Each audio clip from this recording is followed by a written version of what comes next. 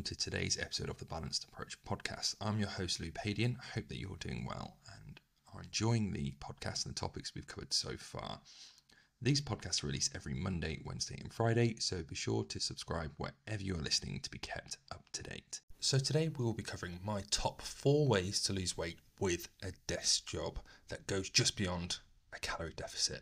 The reason I want to talk about this is it's a common struggle that I find when I've worked with people, especially within NHS. I've struggled with myself, and it's really hard when you want to make these healthy changes, but you feel like you're tied to a desk all day, not able to move, that your weight is either creeping up or the effort that you're making to try and lose weight isn't really helping at all, and nothing seems to be working. And I know personally, I felt really frustrated, especially when I've started a new desk job that was as if nothing was working personally and it sort of led to an area of boredom as well that often I bore me. And with my back issues and things like that it probably added to sort of a level of physical discomfort as well. So one of the things that I've worked on a lot with other people as well is that it's often motivated through wanting to feel more comfortable in wanting to feel more confident, but also there can be these health conditions that can be improved by managing our weight, such as cardiovascular disease, diabetes, and joint pain. And this is one of the things that actually, when I worked in the NHS and got a desk job there, I was supporting people in these problems as well. So it was quite ironic that I found to be struggling myself and I could really empathize with their struggles because I was there too a desk. So these top four tips aren't the only top tips that there are out there, but they can be really impactful, especially if you implement them day to day, week to week, and are consistent with them. As most things are, consistency is key.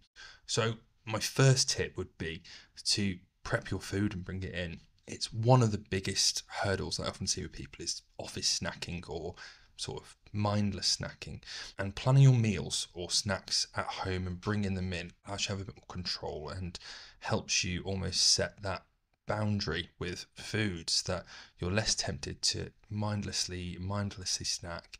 And when someone brings in cakes for a birthday or a celebration or there's a cake sale downstairs that you're a bit more secure in you acting in line with your goals.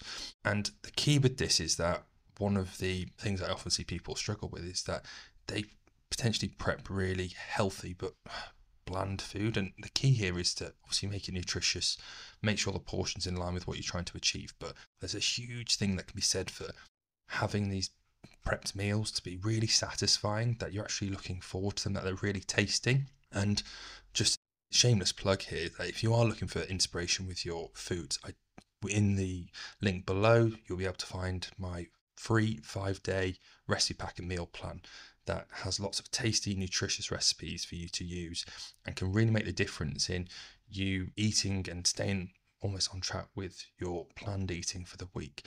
And as we go into this, it, it's so important that having this structure and routine with your food can help you really gain that momentum with your weight loss. So, first tip is to plan and bring in your food. One thing that I've touched on there, which is the second tip, is setting boundaries with your food.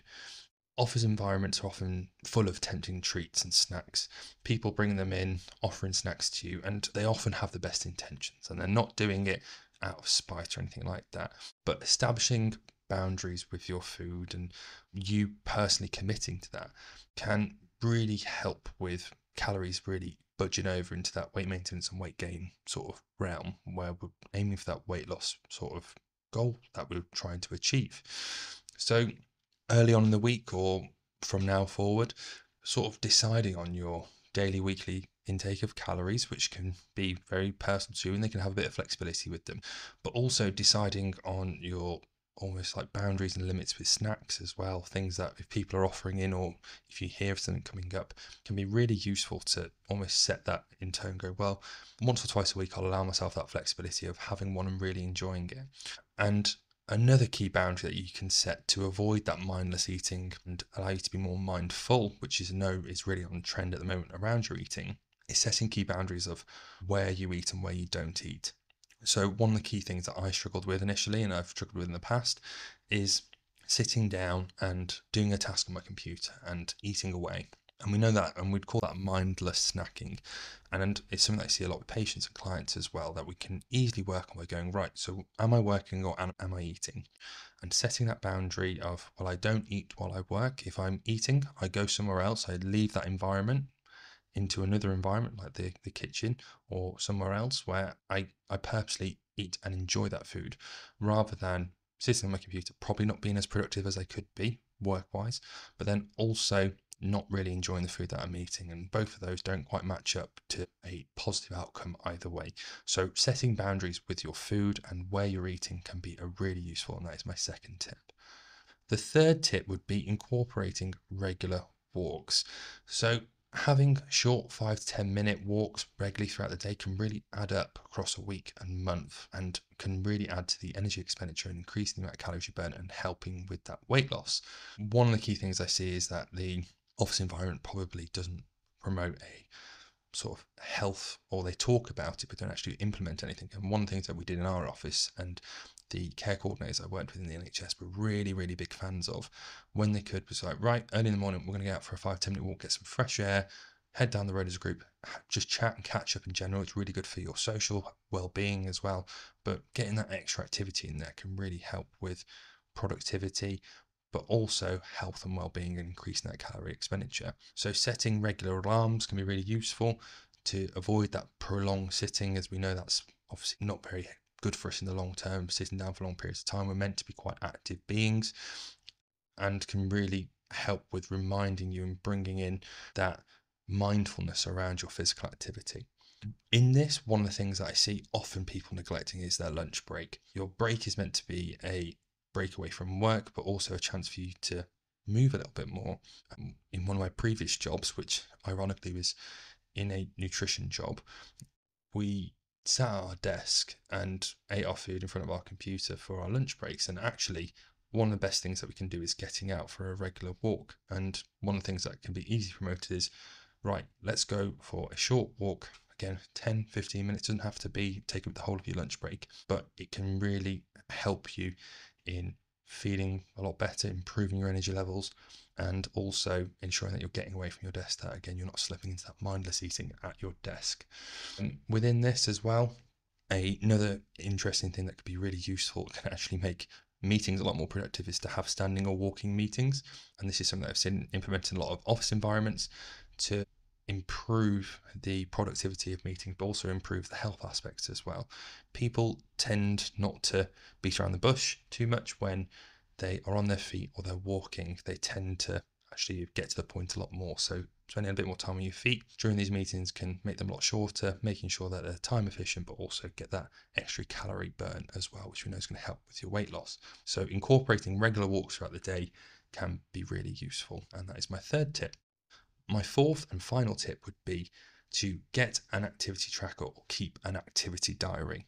So, again, linking with incorporating regular walks, but this is just to avoid prolonged sitting really and having something that actually allows you to measure and monitor your steps per day or your physical activity can make you really aware of how much you're moving day to day. And I know we've spoken about sort of the 10,000 steps a day rule, and actually just doing a little bit more can have huge benefits. And up to about six or 7,000 steps, actually, we get a huge amount of health benefits long term with regards to lots of health consequences, such as cardiovascular disease and all cause mortality, really. That it can give you a little reminder your activity watch, not even just to go for a walk, but to just stand up, stretch off, loosen off, and just burn those extra calories throughout the day, but also just move a little bit as we can really seize up if we're not doing it. If you haven't got an activity tracker, you don't actually need one. Most smartphones tend to monitor your steps daily, and across the day, inside and outside of work, you can really get those extra steps by going for those 10 15 minute walks before work, after work, moving using sort of public transport and incorporating that parking further away, and outside of work as well at the weekends, just being a bit more mindful. And you can see trends throughout the week of when you're more active, when you're less active, and put plans in place to reduce the amount of times where you're less active and take advantage and notice trends of when you're more active and what you're actually actually doing right there. So fourth and final tip is to get an activity tracker or keep an activity diary. So there you have it. Thank you very much for listening to today's episode of the Balanced Approach podcast. If you have any questions, queries, or would like to reach out to me, please do. I am at Louis Padian Nutrition, which is at L O U I S P A D I A N Nutrition on Instagram, Facebook, TikTok, and all other social media platforms. If you're looking for support in achieving your goals and living a healthier, happier, and more balanced life in the process, click the link below and inquire about working with me. Remember to subscribe to the Balanced Approach podcast wherever you're listening for more insightful episodes, and I look forward to speaking to you soon.